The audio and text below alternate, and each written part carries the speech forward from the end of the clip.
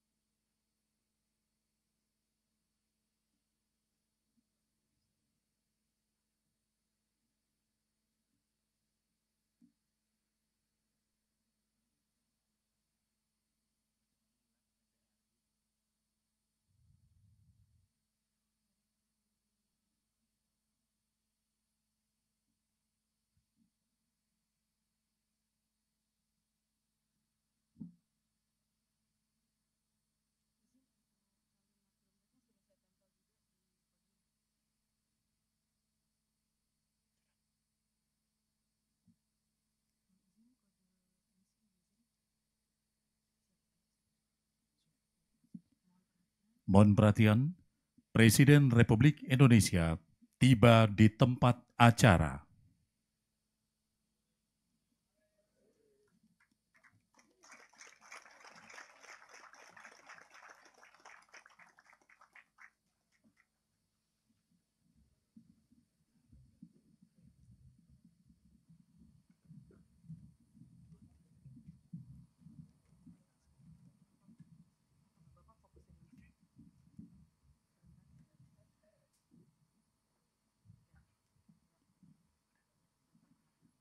Yang terhormat Presiden Republik Indonesia, yang kami hormati para Menteri Kabinet Indonesia Maju, Direktur Utama PT Pupuk Indonesia, Direktur Utama PT Pupuk Kalimantan Timur,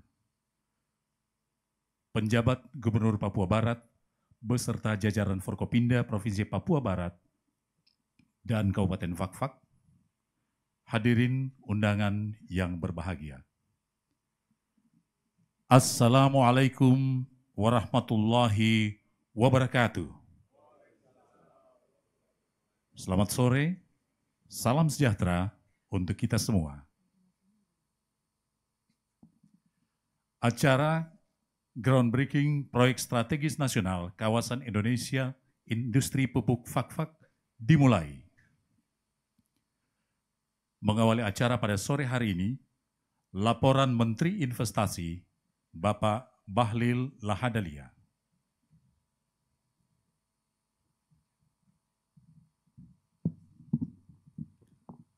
Assalamualaikum warahmatullahi wabarakatuh. Shalom, Om Swastiastu, Namo Buddhaya, Salam Kebajikan. Yang sama-sama kita hormati Bapak Presiden Republik Indonesia, Bapak Insinyur Joko Widodo, Makasih Bapak atas perjalanan panjang sudah bisa hadir di tempat ini. Pak Menteri Mensesnek, Pak Pratikno dan Pak Menteri SDM, Pak Arifin Tasrif, Dirut Pupuk Indonesia dan Pupuk Kaltim, Bapak Ibu semua yang saya hormati, terutama Pak Gubernur, Bapak-Bapak Raja, Bapak Kapitan, tokoh-tokoh masyarakat, semua.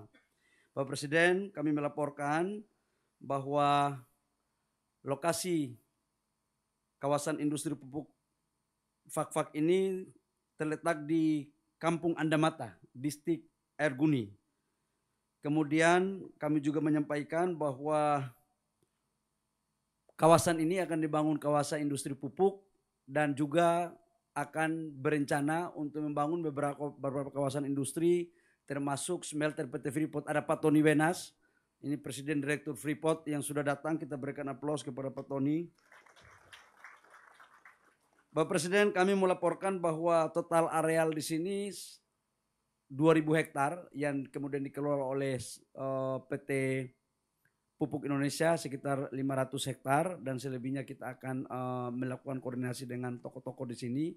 Yang kedua kami juga laporkan masyarakat dan pemerintah daerah sangat mendukung betul dan total investasi daripada proyek ini kurang lebih sekitar 30 triliun dan ini langsung dikawal oleh Kementerian Investasi dan BUMN.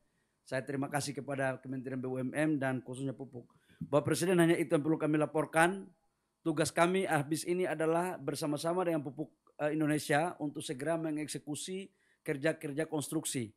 Untuk tokoh-tokoh masyarakat, tokoh adat, kapitan, kemudian raja-raja, saya sudah pernah ngomong dari awal bahwa hak bapak-bapak kita tidak akan kurangi. Ini saya lapor di depan Bapak Presiden. Jadi tolong dukungan dari bapak-bapak semua untuk kita bisa menyukseskan pupuk di uh, fak-fak ini. Dan ini bisa menjadi hub untuk penyuplai di kawasan timur khususnya di Maroke untuk lumbung pangan nasional kita. Hanya itu perlu kami laporkan. Terima kasih. Kurang lebihnya mohon maaf. Wabillahi taufiq wal hidayah. Wassalamualaikum warahmatullahi wabarakatuh. Shalom. Santi Santi Om Namo Buddhaya. Salam kebajikan. Bapak Ibu hadirin yang kami hormati, selanjutnya marilah kita simak bersama sambutan Presiden Republik Indonesia, Bapak Joko Widodo, dilanjutkan dengan penekanan tombol sirene sebagai tanda dimulainya groundbreaking proyek strategis nasional kawasan industri pupuk Fakfak. Bismillahirrahmanirrahim. Assalamualaikum warahmatullahi wabarakatuh. Selamat sore, salam sejahtera bagi kita semuanya. Shalom. Yang saya hormati Menteri Sekretaris Negara, Menteri ESDM, dan Pak Menteri Investasi, yang saya hormati Gubernur Provinsi Papua Barat dan Bupati Pakpak, yang saya hormati Direktur Utama PT Pupuk Indonesia, Direktur Utama PT Pupuk Kalimantan Timur, Bapak Ibu tokoh adat, tokoh masyarakat, tokoh agama, hadir dan undangan yang berbahagia. Sudah 40 tahun kita memiliki lima industri pupuk.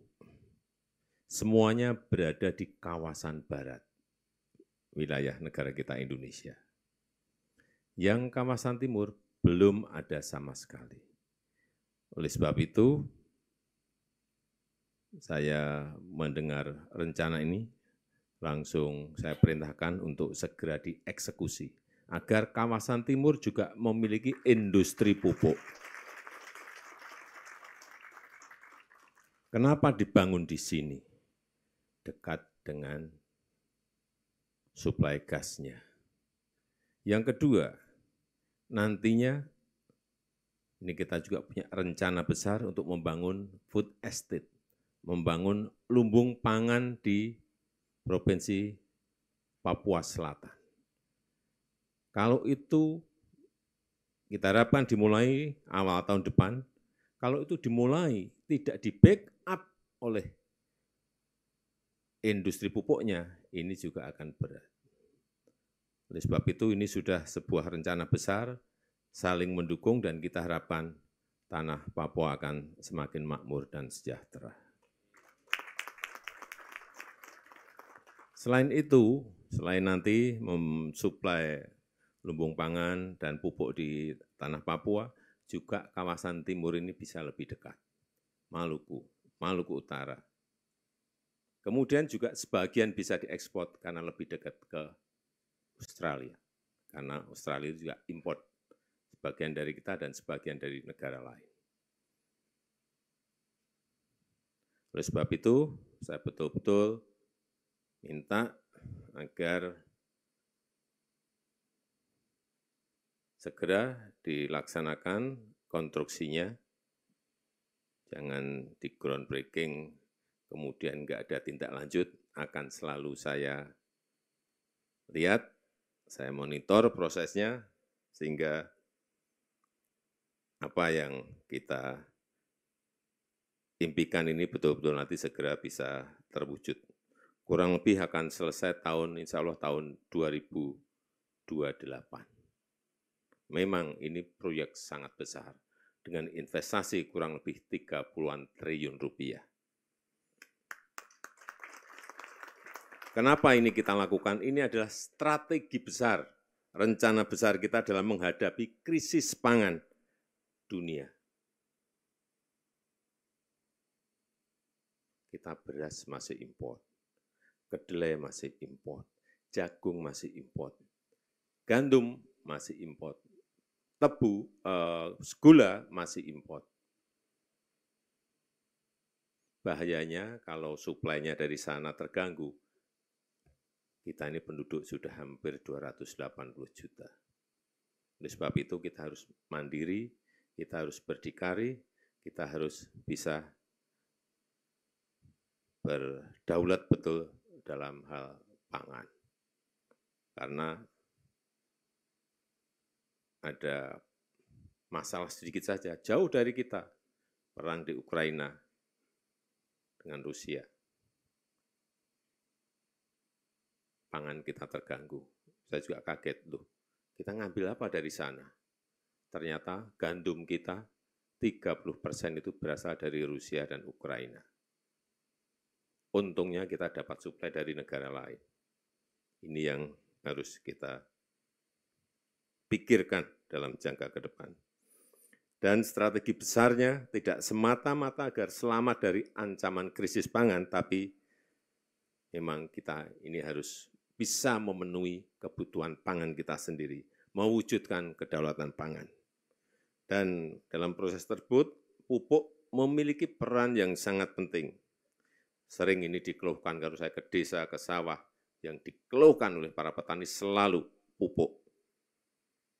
Kelangkaan pupuk, ini yang harus segera kita selesaikan.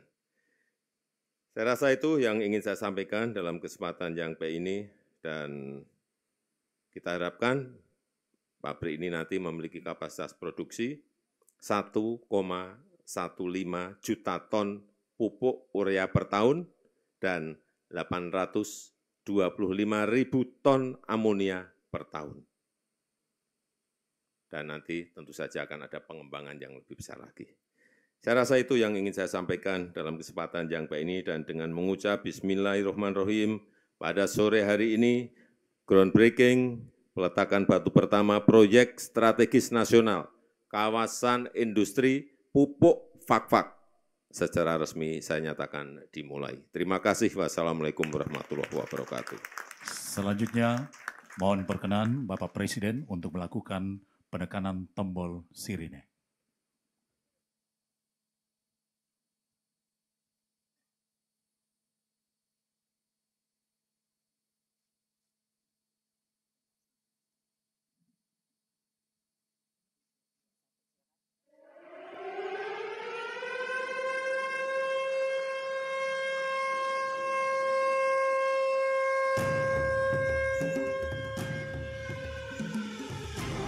Demikianlah acara groundbreaking proyek strategis nasional kawasan industri pupuk Fak-Fak